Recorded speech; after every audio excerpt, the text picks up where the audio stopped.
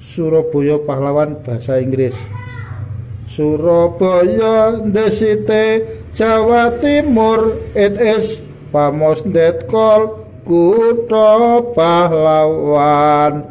Surabaya dangerous serta en Datan is November Ye the four five They broken the kitchen All attack Lost empty Hero Surabaya